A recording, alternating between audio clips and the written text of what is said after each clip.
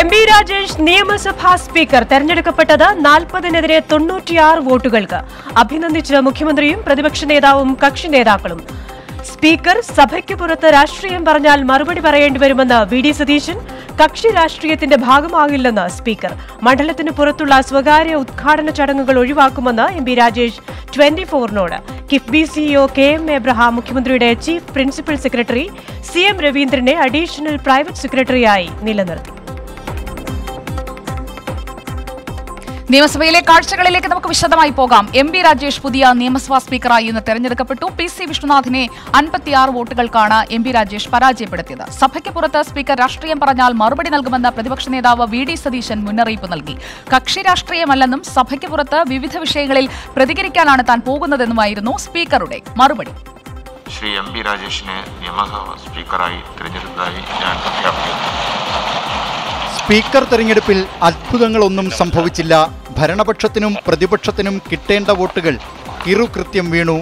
നാൽപ്പതിനെതിരെ തൊണ്ണൂറ്റിയാറ് വോട്ടുകൾക്ക് M B Rajesh സ്പീക്കറായി. സത്യപ്രതിജ്ഞ ചെയ്യാതിരുന്ന എൽ ഡി എഫിലെ രണ്ടും യു ഡി എഫിലെ ഒന്നും അംഗങ്ങൾ വോട്ട് ചെയ്തില്ല. Pro tem speaker P T A റഹീമും കീഴ്വഴക്ക പ്രകാരം വോട്ട് രേഖപ്പെടുത്തിയില്ല. സഭയുടെ പൊതുശബ്ദമായി മാറാൻ പുതിയ സ്പീക്കർക്കു കഴിയട്ടെ എന്ന് ആശംസിച്ച് മുഖ്യമന്ത്രി. സഭയെ സംബന്ധിച്ചിടത്തോളം തീർച്ചയായും അഭിമാനകരമായ കാര്യമാണിത്.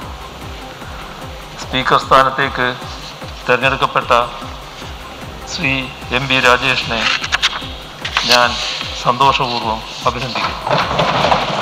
സഭയ്ക്കു പുറത്ത് രാഷ്ട്രീയം പറയുമെന്ന് സ്ഥാനാർത്ഥിത്വം പ്രഖ്യാപിച്ച വേളയിൽ എം ബി രാജേഷ് പ്രതികരിച്ചതിനെതിരെ പ്രതിപക്ഷം അങ്ങ് ഈ സഭയ്ക്ക് പുറത്ത് രാഷ്ട്രീയം പറഞ്ഞാൽ സ്വാഭാവികമായും ഞങ്ങൾക്ക് അതിന് മറുപടി പറയേണ്ടി വരും. അത് സംഘർഷങ്ങൾ ഉണ്ടാക്കും. നിയമസഭയിൽ വയ്ക്കുമ്പോൾ വരുമ്പോൾ അത് ഒളിച്ചു വയ്ക്കാൻ പ്രതിപക്ഷമായ ഞങ്ങൾക്ക് കഴിയില്ല. അത് സഭാ പ്രവർത്തനത്തിന് തടസ്സപ്പെടും. അതുകൊണ്ട് തീർച്ചയായും അതെല്ലാം ഒഴിവാക്കണം എന്ന് ഞാൻ വിനയപൂർവം അങ്ങയോട് അഭ്യർത്ഥിക്കുകയാണ്. മുസ്ലിം ലീഗ് നേതാവ് പി കെ കുഞ്ഞാലിക്കുട്ടി ആശംസ അർപ്പിച്ചതിനിടെ നടത്തിയ പരാമർശം സഭയിൽ ചിരിപടർത്തി ലോക്സഭയിൽ ഒന്നിച്ച് പ്രവർത്തിക്കാനുള്ള അവസരം ഉണ്ടായപ്പോൾ ഇത്ര പെട്ടെന്ന് അങ്ങ് സ്പീക്കറും ഞാൻ അഭിനന്ദിക്കുന്ന ആളായി വരും എന്ന് ഒരിക്കലും കരുതിയിട്ടില്ല. രാഷ്ട്രീയത്തിൽ ഇങ്ങനെയൊക്കെയാണല്ലോ. ആശംസകൾക്ക് നൽകിയ മറുപടിയിൽ പ്രതിപക്ഷ നേതാവ് വി ഡി സതീശന്റെ പരാമർശത്തോടും പ്രതികരിച്ചു സ്പീക്കർ. കക്ഷി രാഷ്ട്രീയം പറയും എന്നല്ല. കക്ഷി രാഷ്ട്രീയത്തിന്റെ ഭാഗമായി സ്പീക്കർ പ്രവർത്തിക്കുകയില്ല. എന്നാൽ സഭയ്ക്ക് പുറത്തുയർന്നു വരുന്ന പൊതുവായ രാഷ്ട്രീയ സാമൂഹിക സാംസ്കാരിക വിഷയങ്ങളിൽ അഭിപ്രായം പറയും എന്നുള്ളതാണ്. പുതിയ സ്പീക്കറുടെ ആദ്യ അറിയിപ്പ് വി ഡി സതീശനെ പ്രതിപക്ഷ നേതാവായും പി കെ കുഞ്ഞാലിക്കുട്ടിയെ ഉപനേതാവായും തീരുമാനിച്ച യു ഡി എഫ് സഭാകക്ഷി യോഗത്തിന്റെതായിരുന്നു. ഇനി പതിനഞ്ചാം കേരള നിയമസഭയെ എം ബി രാജേഷ് നിയന്ത്രിക്കും.